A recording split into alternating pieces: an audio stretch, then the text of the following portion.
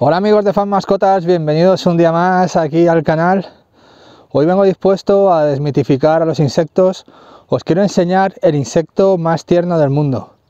Un insecto que, es capaz de cuidar a sus crías, de proporcionarles, bueno, de limpiarlos, de darles de comer, de, protegerlos, de protegerlos además eh, con ganas, con, con, potencia, o sea, con, con forcículas que ya os enseñaré lo que son.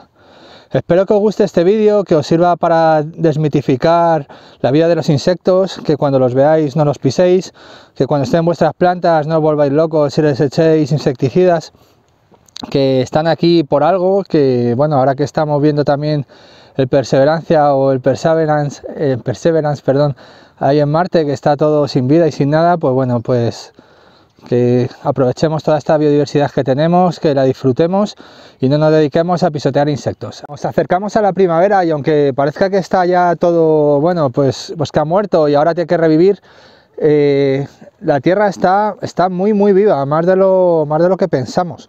Si miramos bajo las piedras, como hemos visto en el vídeo anterior, descubrimos un montón de insectos que están ahí pasando el invierno, esperando momentos más propicios, como nosotros estamos más tiempo en casa, pues a ellos les pasa lo mismo.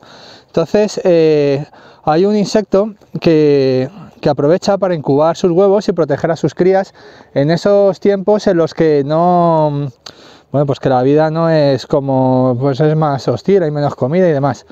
Y ahí es donde aparece eh, donde nos es más fácil encontrarlos porque están ahora bajo las piedras cuidando de sus crías. Lo vamos a ver que lo tengo ahí enfrente. Vamos a verlo. Mirar amigos, últimamente parece que solo estoy en escombreras, pero, pero bueno, ha coincidido así. Creo que merece la pena. Aquí, en esta piedra, tengo localizada una colonia de este bicho. Mirar amigos, aquí los tenemos. Me ha costado un poco encontrarlo. Esta es una hembra. Y todo esto de aquí, eso pequeñito que veis, son las crías. ¿Lo veis? Vamos a acercarnos un poco más. Mirar cómo van a que las proteja la madre. Estos, estos se llaman tijeretas, bueno ya algunos los conoceréis, también se llaman vulgarmente cortapichas y se alimentan de, de restos de, mm, bueno pues vegetales, animales, también pueden comer pulgón. Mira, es una hembra porque tiene la parte de atrás que se llaman forcículas eh, más finas. Esta especie se llama Ay, perdón, forcícula auricularia porque se pensaba que se metían en las orejas y, y bueno, y tiene esa especie de forceps. Lo que hacen es un agujero, que su agujero, lo que pasa que ahora como les se levanta la piedra están desubicados, sería ese, bajo las piedras, así en la arena, y ahí es donde pone los huevos la hembra y los protege hasta que eclosionan. Aquí ya habrían eclosionado las ninfas. Eso no pasa en etapa larvaria, sino son ninfas. Es un desarrollo sin metamorfosis. Y bueno, ya se ha ido la hembra. Y aquí están las pobres crías eh, totalmente desubicadas. Esto ya os digo, mirar, tienen ahí hecho su, su nido. Para mí es uno de los insectos más tiernos del mundo porque protegen a sus crías. Generalmente los insectos, por ejemplo los lepidópteros, las mariposas, mirad, se está metiendo ahí, tiene ahí el, nido, ¿veis? Eh, generalmente eso, como os decía, ponen los huevos y se desentienden de ellos.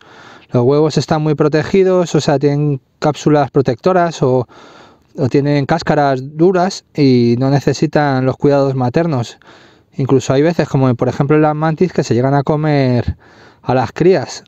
Eh, pero en este caso no, en este caso las cuidan. Se ha ido por ahí la madre Mirad cómo han ido las, crías detrás de ella.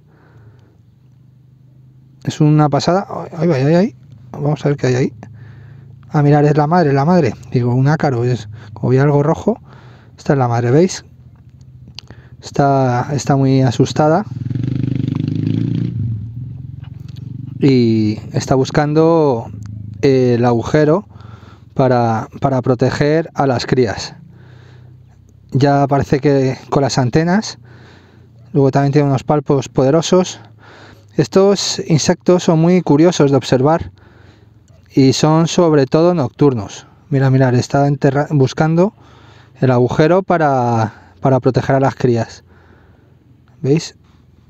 No la quiero molestar mucho más. Espero que la hayáis disfrutado.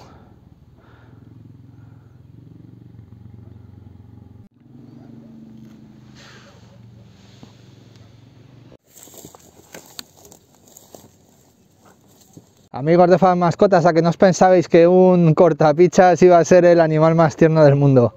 Con ese nombre cualquiera se lo esperaba, ¿verdad? Espero que os haya gustado el vídeo, que me dejéis los comentarios, qué os ha parecido, si os imaginabais que iba a ser este, si no, si ya lo conocíais y, y nada más, nos vemos en el próximo vídeo, que ya me está reclamando ahí un pajarillo, no sé si lo habéis oído. Hasta pronto, adiós amigos, no os olvidéis suscribiros.